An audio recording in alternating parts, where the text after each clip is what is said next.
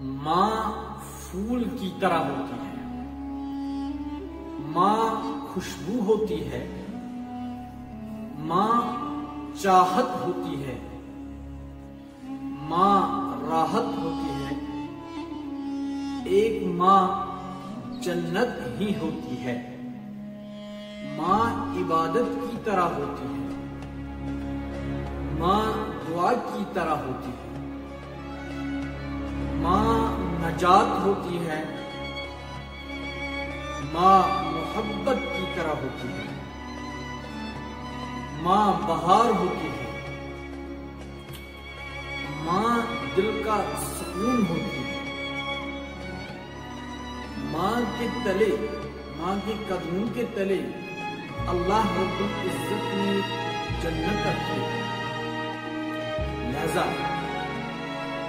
کا مقام پہچاننا یہ بہت بڑی بات ہے۔ اللہ رب العزت کے محبوب پیغمبر محمد رسول اللہ صلی اللہ تعالی علیہ وسلم فرماتے ہیں، اگر میں نے نفل نماز شروع کی،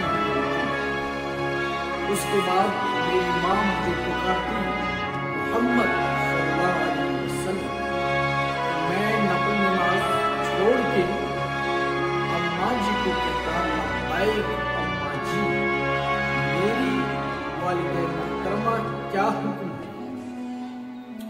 لہذا فرمایا، اگر کوئی اس جہاں میں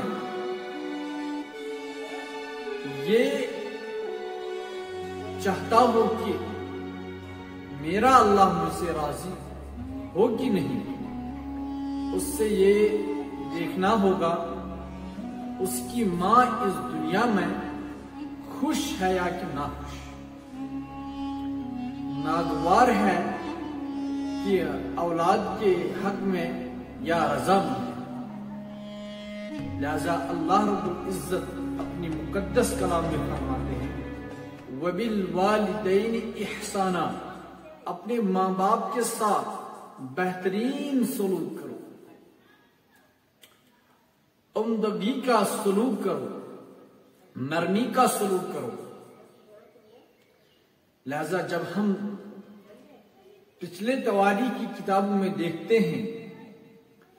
وہی لوگ اس جہان فانی میں کامیاب ہو گئے۔ بلندیوں کی سیڑھیوں کو وہ چڑھ گئے۔ اور انہی لوگوں نے اس جہاں میں بھی کامیابی کی راہ لی ہے۔ کامیابی اور سکون کی راہ پکڑی ہے۔ دولت و میراث کی راہیں ان کو دیکھنے کو ملی ہے، جنہوں نے اپنے ماں باپ کو عزت دیا ہے۔ اپنے ماں باپ کا وہ سکون اور سہارا بنا۔ لہذا میں تمام تر ناظرین کو اس ویڈیو کے ذریعے سے آپ حضرات سے یہی کہنا چاہتا ہوں، ہمیں اپنے ماں باپ کا مقام پہچاننا چاہیے۔ ہمیں اپنے ماں باپ کو عزت اور احترام کرنا چاہیے۔ ہمیں اپنے ماں باپ کے دلوں کو جیت لینا چاہیے۔ تو اس سے کیا ہوگا؟ اللہ رب العزت ہمیں سرفراز کرے گا۔ سرفرازی کے ساتھ ساتھ اللہ رب العزت ہم جیسے بندوں کو اس جہان فانی میں سکون کی زندگی میسر کرے گا۔ راحت ملے گی ہمیں۔ جب ہم اپنے ماں باپ کی قدر جانیں گے، ان کا عزت اور احترام کریں گے۔ اور اللہ تعالیٰ سے یہی دعا ہے ہماری طرف سے۔